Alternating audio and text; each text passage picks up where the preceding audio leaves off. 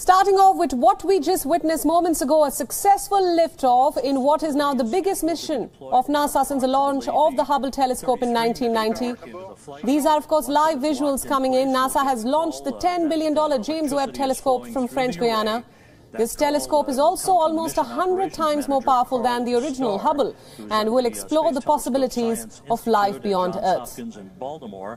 Uh, seated right behind him in that control room is Elysia Star, uh, a pair of stars uh, helping to guide uh, James Webb on its discovery of the stars. Elysia Star is the uh, lead uh, engineer for launch and ascent events. once the solar array is deployed and declared power positive, uh, then a uh, three out of the four hold downs for the aft deployed radiator will be released to prevent binding due to the cool down of the telescope's composite structure. The contamination control heaters will be enabled to protect instrument optics on Webb from any water ice condensation as they cool down. And there you go. Just moments ago, we witnessed a successful liftoff of the James Webb Telescope on board a European rocket. Now, let's tell you a little bit more about why this mission is so significant for mankind and its desire for space exploration and astronomy. The $10 billion James Webb Telescope will be launched, or has been launched now already, on a European Ariane rocket. This is a project that has taken some 30 years to design and build and is now regarded as one of the big scientific endeavors of the 21st century. The goal of this ambitious telescope will be to try and show the very first stars and galaxies to shine in our universe. It will also have the power to investigate the atmosphere of distant planets to look for gases that might hint at the presence of life. Jean-Luc uh, Voyer, the uh, range operations manager, continues to report a nominal performance for James Webb. And again, uh, Luce Fabrega from the European Space Agency, uh, how is this uh, trajectory uh, being uh, carefully and methodically adjusted to provide the correct parameters in the final stages of ascent? Yes, Rob, as you can see on this plot, the, the altitude is slightly going down. It's perfectly normal. The launch vehicle is uh, really on the, on the line where it should be. This decrease of its altitude, slight decrease of its altitude, will allow the launcher to benefit and the upper stage to benefit of the gravity effect and to increase its velocity until it reaches a thermal threshold. It's about Let's now tell you some of the live updates that are coming in. The main stage of the rocket has finished its job and separated to fall into the Atlantic Ocean. The upper stage's engine has ignited for a 16-minute burn with the James Webb Space Telescope. What all this means is that so far so good. The mission has been successful so far. We've seen a successful liftoff of the James Webb Telescope. Orbit around the Earth with an apogee, a very high apogee above uh, 1 million kilometers. Trajectory uh, nominal as reported by Jean-Luc uh, Voyer. You see him in that uh, view, 185 kilometers in altitude uh, some 4,500 kilometers downrange. Let's tell you a little bit more about this ambitious Peru, mission. Now, the anticipation surrounding it was quite high. Uh, the people involved right the were quite right anxious since this happens great. to be a very significant are, mission for about, space uh, exploration, especially because the Hubble telescope is now outdated. Its lifespan was about 30 years, so it's pretty much now in safe mode. So the James Webb telescope, its successor, and its mission to enter the orbit is highly significant on all counts. To get to space, the uh, James Webb Telescope must first survive about a 27-minute ascent on what is in effect a controlled explosion.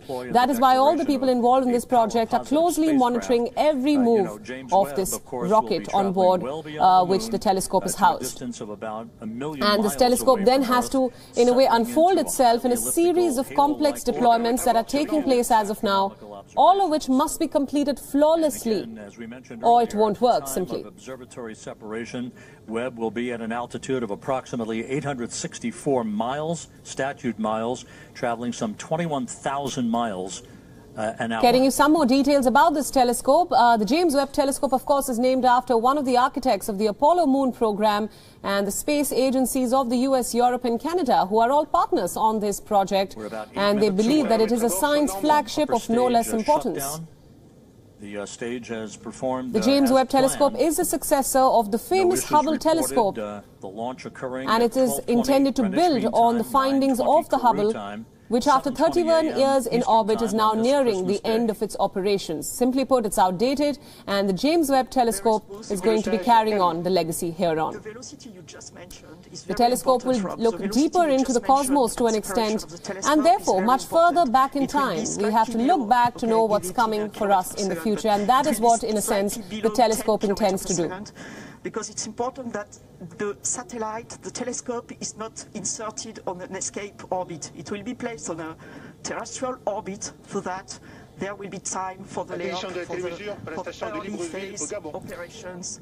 Let's recap a bit for all our viewers who are tuning into WION. As of now, just moments ago, we showed you live coverage of the James Webb Telescope successfully lifting off from French Guiana aboard a European rocket. And of course, even uh, some tense moments right there as the countdown began.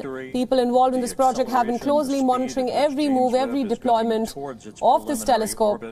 All modeled in advance uh, it is a highly expensive proposition too. The $10 billion James Webb Telescope has now been launched. And it is a project that has taken a lot of hard work, anticipation, 30 years in the making. The Ariane 5 rocket, which is about uh, six and a half minutes from now.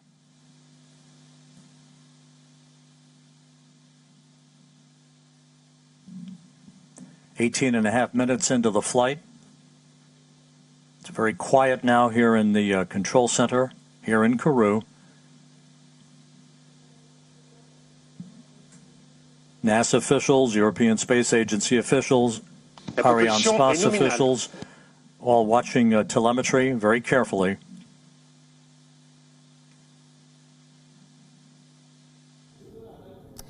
Now tell you a little bit more about how the Hubble telescope, which was launched in 1990, is different from the James Webb telescope. The Hubble was launched in 1990 and is currently on its last leg. It has been nearly 31 years in operation and is now uh, simply outdated. It is now on a safe mode, as it is called. And at this crucial juncture, the James Webb telescope was rocketed into the orbit. This telescope is being called the successor to the Hubble, and a comparison between the two shows us why. So let's tell you more about that. The James Webb is considered to be a time machine in space, similar to the Hubble. Their ability to view faraway objects makes them a stellar asset. The data from the Hubble has formed the basis of understanding of the outer world, something that we have relied on for decades now. The Hubble has discovered new planets, satellites, and distant gal galaxies even. In 2012, the telescope showed seven primitive galaxies formed more than 13 billion years ago and more importantly, when the universe was less than 4% of its present age, which lies very close to the time period of the Big Bang. The Hubble was, of course, put into orbit at a time when we did not have enough information about the existence of stars and galaxy for a few hundred million years after the Big Bang.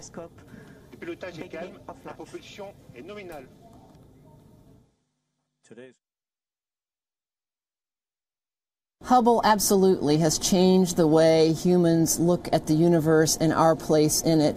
It shows us that the universe has been changing over time, that stars, in fact, are an integral part of producing the types of elements that we need for life, for planets, for our well being.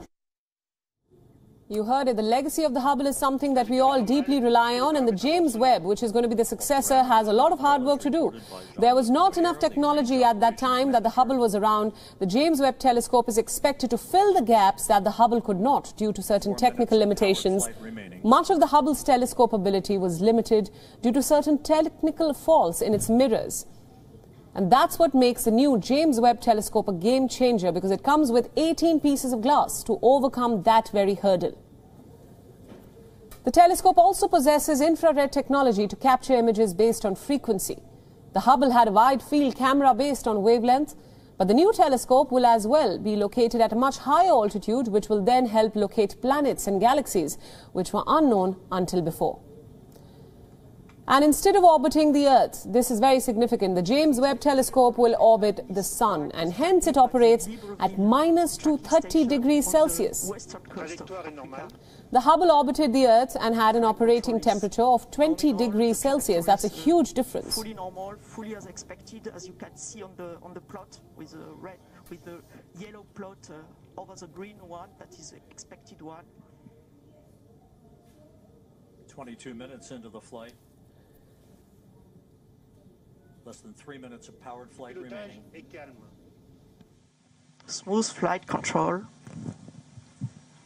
What James Webb is really going to be doing in the field of astrophysics is looking for the very first galaxies that formed in the universe. We also, with this new infrared capability, can peer into these very dark clouds where stars are being born.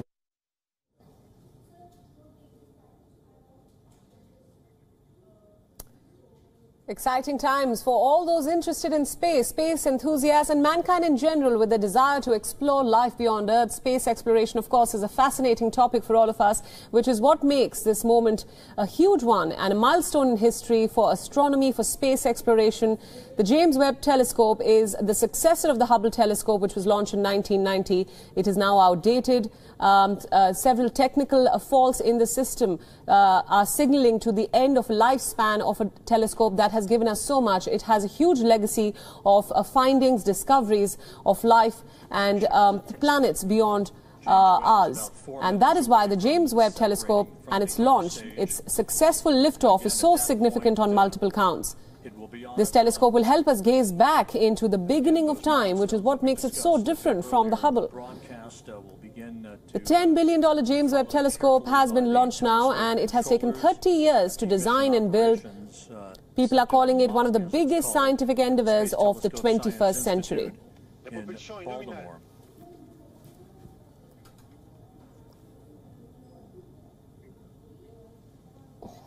WION World is One is now available in your country. Download the app now and get all the news updates on the move.